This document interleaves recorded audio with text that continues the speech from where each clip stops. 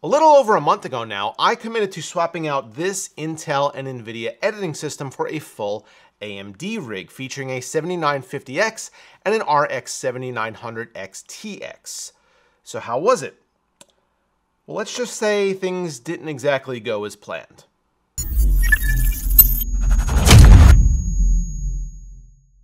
Looking to grab Windows at a crazy discount? Head over to scdkey.com at the links below and use promo code BPS25 at checkout to score a sweet deal on Windows 10, Windows 11, and Microsoft Office.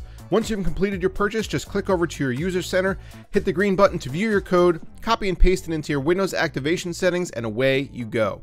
Check out SCD Key at the links in the video description for Windows, Office, games, and more.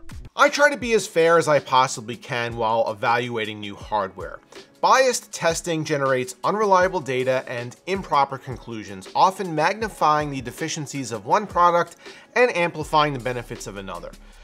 This honestly doesn't do anyone any good, because when you come here to watch a review on a new component, you're likely doing so because you might consider buying one someday.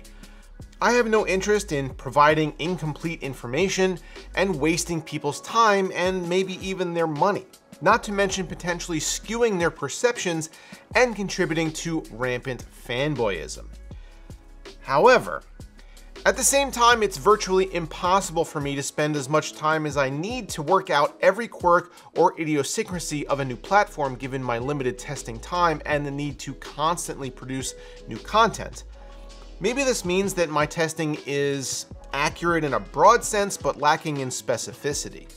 So with 2022 being the year of the new hardware release, maybe it was best to get to know the new AMD Zen 4 CPUs and RDNA 3 graphics cards on a little more personal level.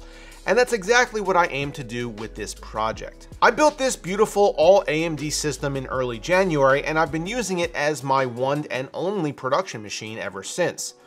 Every YouTube video, every thumbnail, Twitter post, or email that I've fired off over the past 40 days or so has come right from here, and I've kept a log of both the good and the bad things that happened on a daily basis by scribbling notes on this little pad that I kept on my desk.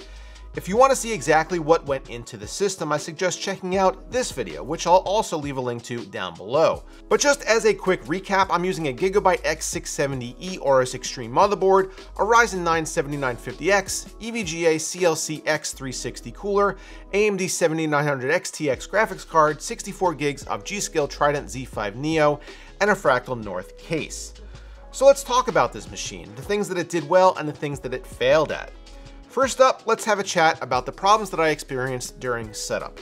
Before even loading up Windows, I ran into an issue where I wasn't able to run the memory at the full rated speed of 6000 megatransfers per second.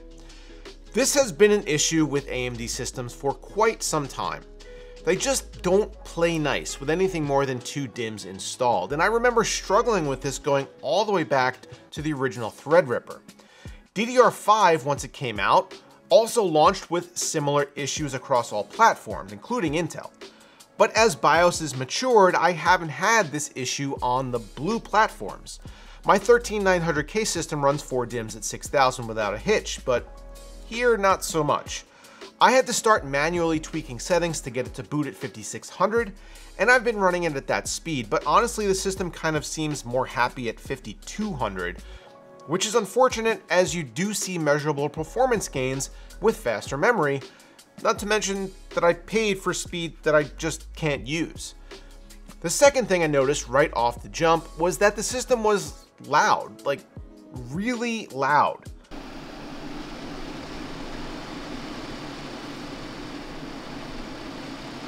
Now keep in mind that I used Be Quiet Lightwings fans here to try to minimize the noise profile, but I left the EVGA fans on the cooler, which both spin faster and generate more noise. I think this kind of created a perfect storm with the combination of the 7950X seemingly always pushing towards 95C and the Fractal North not being a particularly quiet case because holy hell, I almost quit this project on day one as it sounded like I was inside of a tornado. I also noticed that when doing things as simple as watching a video, my CPU temps climbed to around 70C and the PC would noticeably bog sometimes while the fans maxed out at 100%. I double checked the mount for the CPU cooler and it seemed perfectly fine, so I needed to find a workaround. I wanted to leave the hardware in place for this, so I, even though the first thing that I should have done would be to swap out the fans on the cooler, instead I went a different route to both get the system cooler and quieter. I got really aggressive with the fan curve, making it so that they didn't spin faster than 50% most of the time, and the fans didn't hit 80% until the CPU was almost at 90C. And yes, I, Brian Stroh, PC power user, engaged Eco Mode on the 7950X. This was by far the biggest change that I made, and one that I would honestly recommend for most people. It didn't seem to adversely affect the system performance in any meaningful way, and overall dropped temps and power consumption significantly. While the fans still got pretty obnoxious when I was doing something like exporting a video, the system was otherwise quite tolerable. However, about a week ago, the system developed an annoying ticking sound, and I traced it back to, yeah, the EVGA fans on the AIO. Take a listen.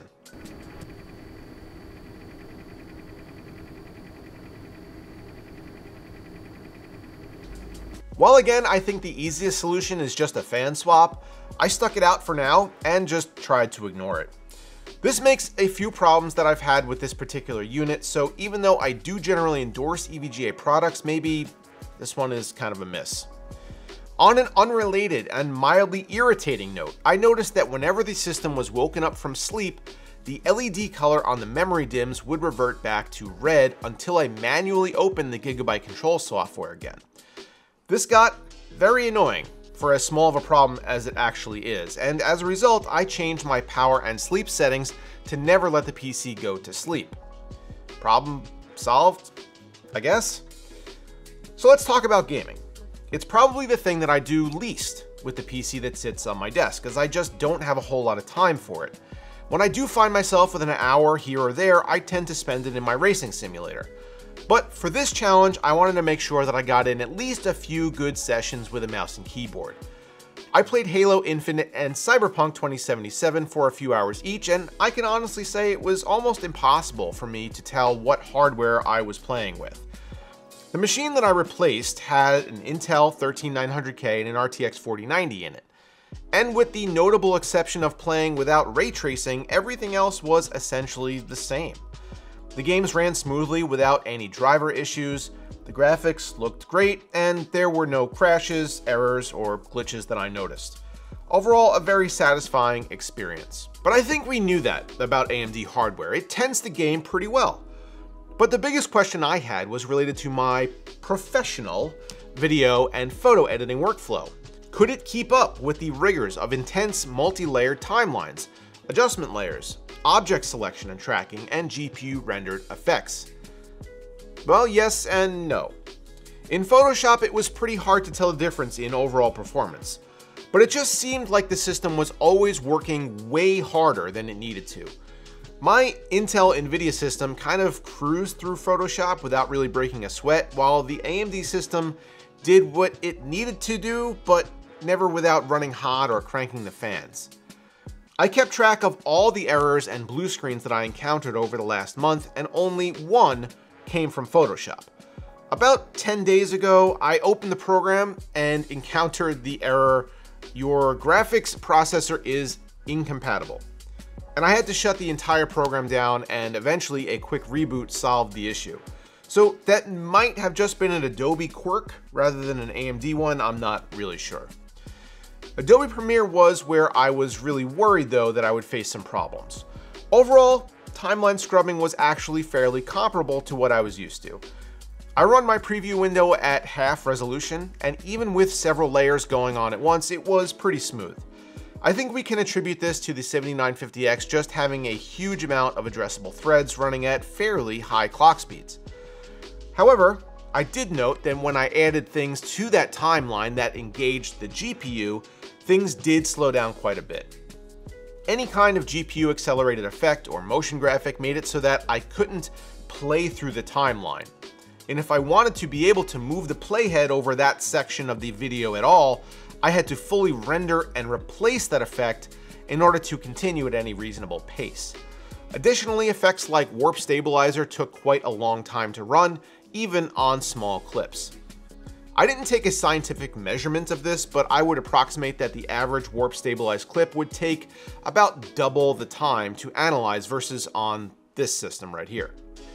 Exporting a final project was also noticeably slower, although since I'm only doing one or two videos a week, it didn't have any real impact on my production timeline.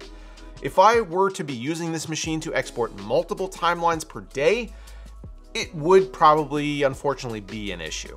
Now what about random freezes, reboots, blue screens, etc.? Again, this is one of the reasons that I kept this little notebook on hand as I added a tally every time I experienced something like this. Total? One. The PC randomly froze and required a hard reboot one time over the course of a little over a month. I will say that it was at a very random time, like uh, it wasn't like I was putting a super amount of stress on the machine. I was just checking my email one day and it stopped functioning. I had to hard reset the machine as no buttons were responsive, but I am happy to say that it only happened that one time. I also kept track of random USB dropouts. If you're not familiar, when you unplug a USB device from your PC, it usually makes this sound. AMD systems I've used in the past have suffered from this weird bug where even if you haven't unplugged something, you'll randomly get the as one of your plugged in devices becomes disconnected. Usually it will reconnect on its own pretty quickly, but this is pretty annoying, especially if it happens to your mouse or your speakers or something like that. AMD seems to have mostly ironed this out throughout the years, but this never happens on my Intel machine. Over my time using the AMD system, it happened three times. Two of those times, I honestly have no idea what became disconnected as I have a host of USB devices plugged in and I didn't see anything actually stop working. But one of those times it was my keyboard, and that was annoying as hell. So what's the verdict? I'd say that I'm absolutely happy that I gave this setup a deeper look. If your focus is purely gaming, it's hard to go wrong with the 7950X or the 7900 XTX. Both are very powerful and good at what they do. Just make sure that you have a good cooling solution in place as the processor does run hot. Eco mode, at least for me, was a really solid solution. If you happen to lean more into the professional realm like I do, I can say pretty unequivocally that an Intel NVIDIA system is a stronger choice overall, if for no other reason that it just seems to be more stable and better at working through complex timelines. One thing that I haven't tried, however, is an AMD processor with an NVIDIA GPU, and that is what's coming up next. So make sure that you stay tuned to the channel if you don't want to miss out on that build and the analysis in the future. As always guys, I hope you enjoyed this video, thanks for watching, and I'll see you next time.